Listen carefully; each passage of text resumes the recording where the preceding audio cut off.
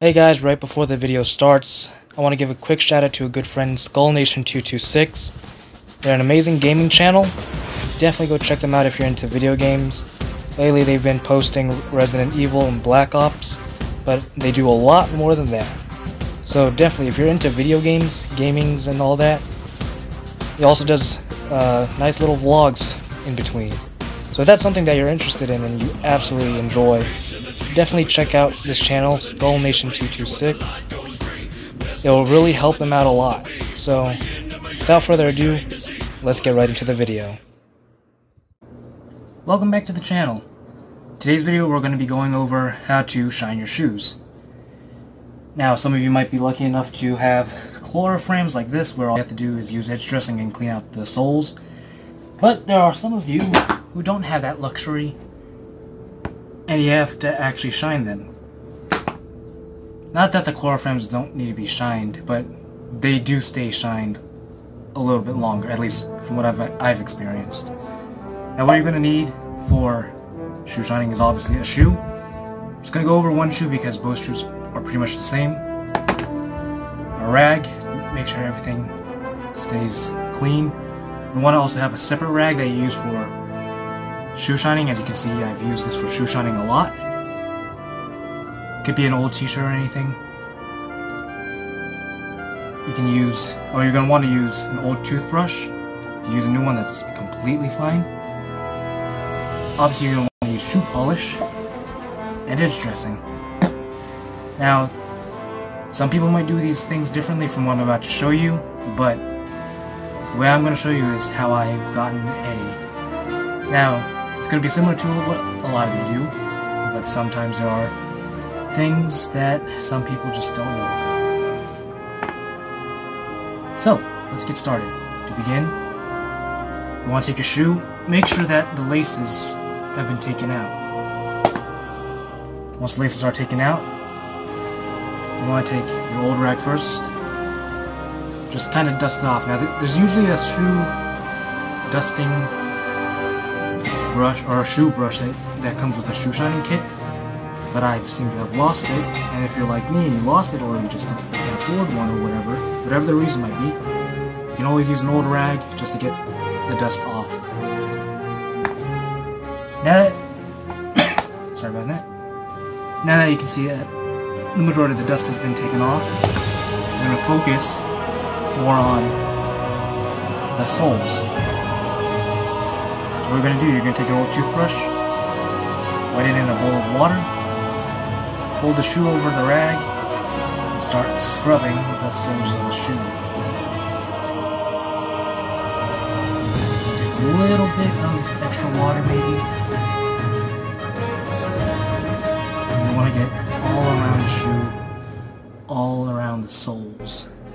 Personally, I also like to scrub the, uh, the bottom of the soles as well, just to get that extra cleaning, because that's where you're going to be putting your edge dressing later on.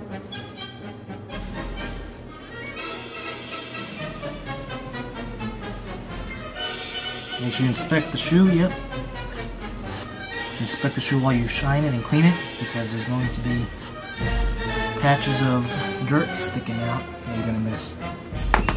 See now most of that dust is gone. Now here's the long, fun, and also some people say it's boring. You're to take your rag, open your shoe polish. Now if you're new to shoe shining and you don't know how to open a can of shoe polish, I'm to teach you real quick. You don't twist it, you don't pull it. You're to take this little knob right here. You're to twist that. Pops the lid right off. This is your shoe polish. It's important that when you're done using your shoe polish, you close it. Because I've had lots of cadets come and tell me that their shoe polish dried out or their shoe polish isn't good to use and it's because they left it out. So what you want to do, your shoe polish on the side, take your rag, make a, try to make it tight around your finger, like so. You want to dip the rag with your finger in the water. Now this is where you need to pay a little bit more attention. Do not just jam your finger right into the can of shoe polish. It's important that when you do that, when you do this, you're going to just lightly wet the area and then start going in circles.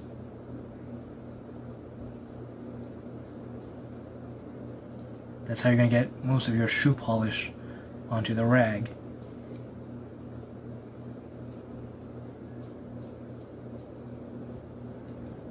There you go. See? Now, with the shoe polish now, I advise that you start at the very front. Just gonna do small circles with it.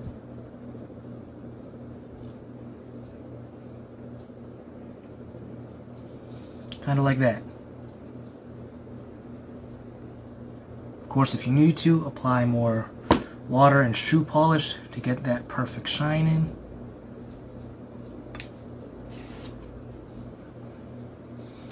And I, I'm always going to tell you to start from the front because that's that's easiest. We like, I mean, if you're an ROTC, you should know.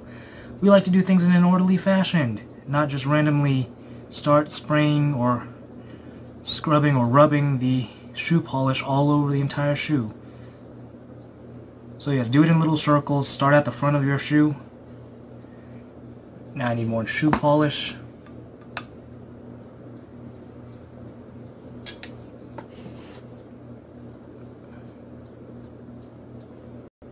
I'm just going to apply it.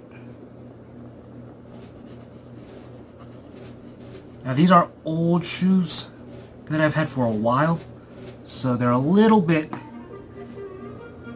uh, what's it called? Dried up from the sun. I don't know what to call it. But basically, I've used them so many times. I mean, I'm a fourth year cadet. Took two years in Navy, two years in Army. I'm actually in the Army one right now, and these shoes are actually from my old Navy school. They let me keep them. And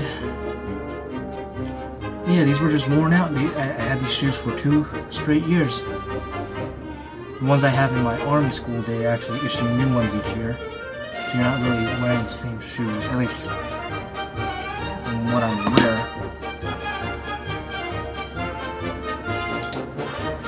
So you're just to keep, continue rubbing small little circles on the shoe. Now, for those of you guys don't know, or if you guys haven't heard the term, usually, I'm pretty sure, if my knowledge serves me correctly, this is what we call spit shining. I have no clue how to do it. I thought spit shining was you spit on it and you scrub it. From what I learned, that's not what we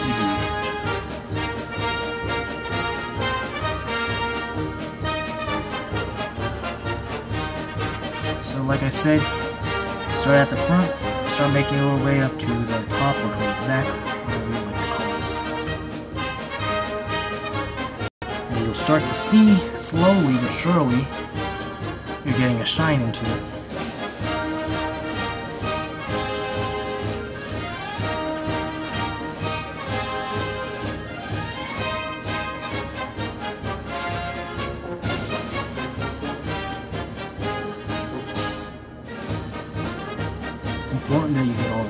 Sides,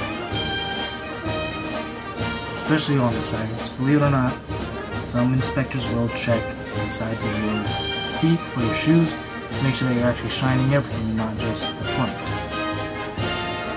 So believe it or not, sometimes there are lazy inspectors who will be like, okay, your shoes look fine.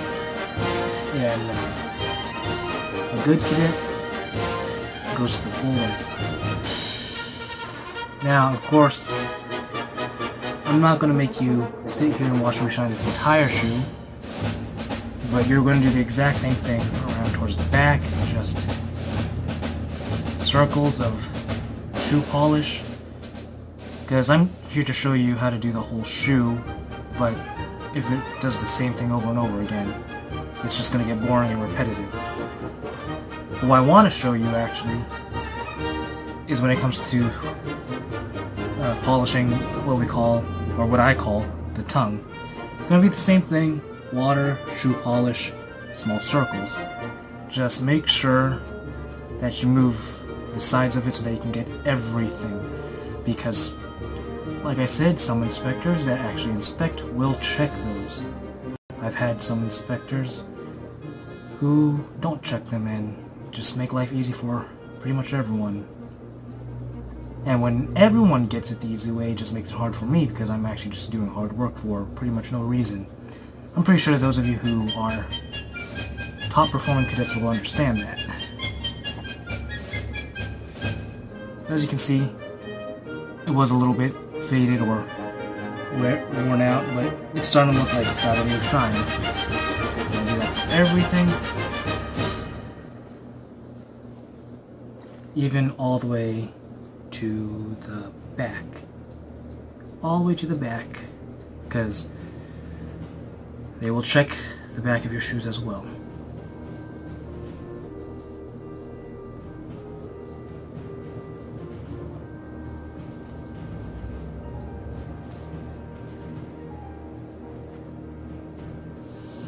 As always, like me, if you're like me, I like to do an extra coating of shoe polish. Never hurts.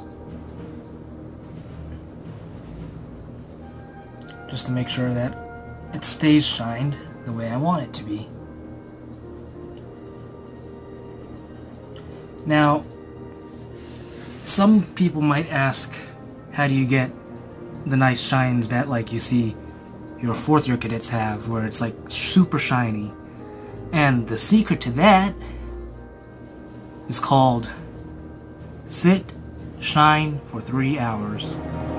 Okay, maybe not three. I mean, at least when I did this back at my old school when we actually had to shine these, it would take an hour, an hour and a half of me just sitting down and shining. Because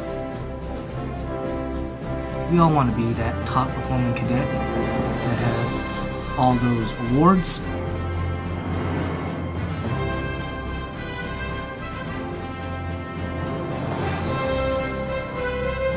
Now, just like I said, I'm going to speed up the process a little bit. Once you finish shining the shoe with the polish, take a, what you can take a clean rag. I'd suggest using a clean rag. If not, use a clean side of the rag that you're using to polish and buff it out or what we call buffing out the shoe. Basically, you're getting everything shine. You're getting all that polished, buffed into the shoe, or buffed out of the shoe, whatever you guys call it.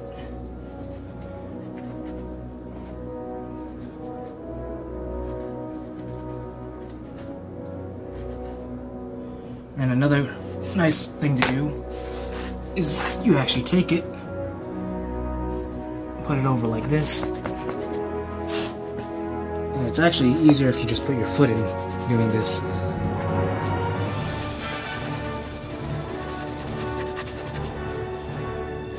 And you will see that you got a nice shine. It's beautiful. Now, we're not done yet. Because you still have the soles to take care of him. If you're OCD or you just want to be top cadet, then you can do the underside. Personally, I like to do that. Uh, not a lot of people say don't do it because it's either one, it's unnecessary, two, it might mess things up. It really won't. Maybe a little bit, but so with this, you're just you're just basically gonna shake it and push it, and you're gonna just go over the sides, and you'll start to see soon that the brown fade from all the dust and dirt is covered up by a nice sleek coat, or not sleek, but a nice coat of black polish.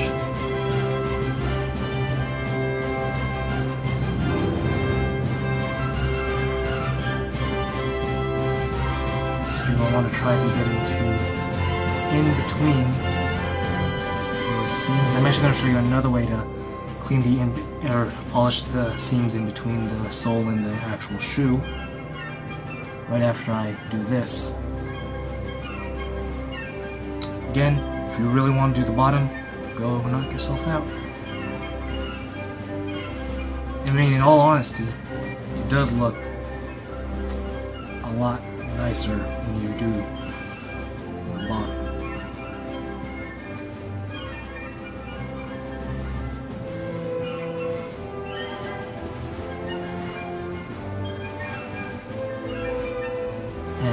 I mean when I'm done, because you can definitely see a difference.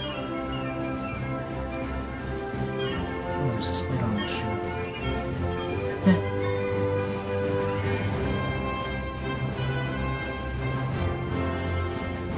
Surprised that didn't bite me.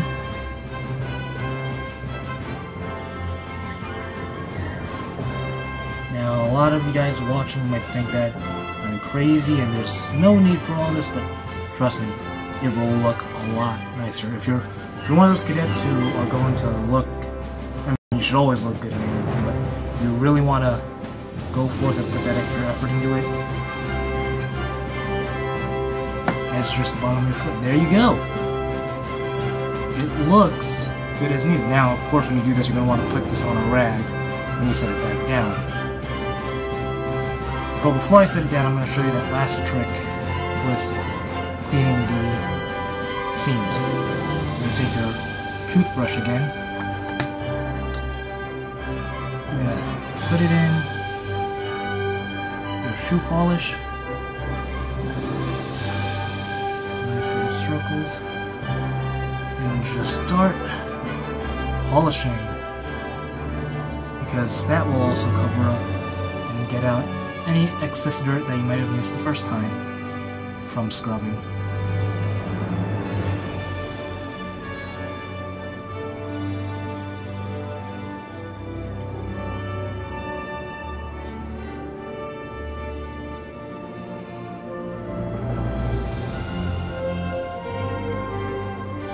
And looks very, very nice. Now we're done with the shoe polishing part, but we're not we're trying to get an A. A very nice A. Now this is going to be something lots of people will either pay attention to or won't pay attention to. And that's how they are laced. So you're going to lace, this is how you're going to lace a shoe. First off, you're going to insert the laces at the bottom.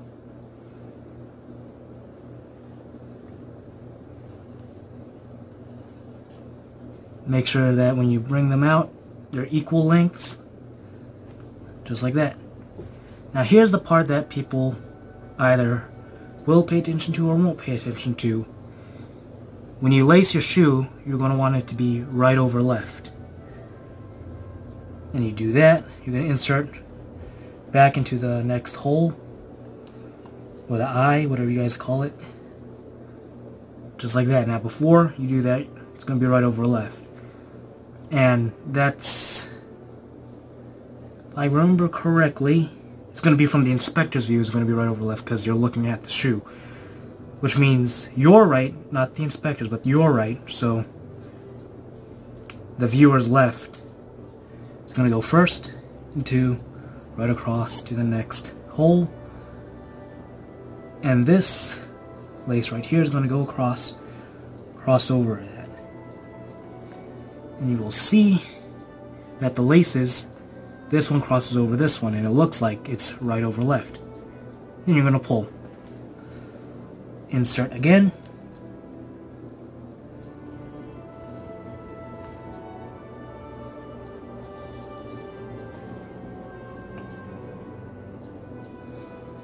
and again right over left. Now, believe it or not, I've had been I have been to schools that say different. Some say it's left over right. At that point, it confuses me, so always stick to right over left.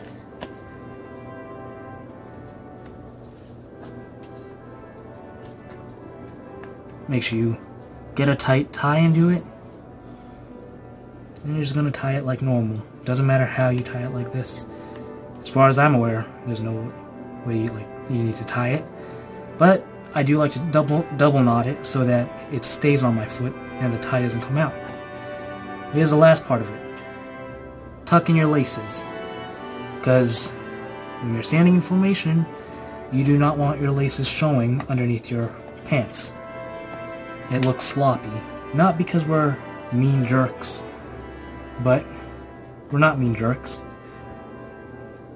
We're not strict. We just have high standards and want you guys to succeed in life. Remember, ROTC is not about joining the military. It's about making better citizens. Not that our cadets are bad citizens, but it helps you improve yourself. Because, trust me, I thought I was a perfect person. I thought I was great. I was doing good in school. Still do good in school. I like volunteering. I like helping out. But I learned to improve myself. There you go. Nicely shined shoe. Want buff it out real quick again. You lace it right over left, left over, yeah, right over left. Your soles are edge dressed. Of course, you're gonna be wearing black socks. I'm wearing white socks because I'm stuck in quarantine right now. And the bottom of the shoe has been edge dressed and shined as well. And that, cadets, is how you get an A plus on shoe shining. So I hope you enjoyed this tutorial. Hopefully it helped you. And I look forward to seeing you guys succeed or hearing you guys succeed in the future.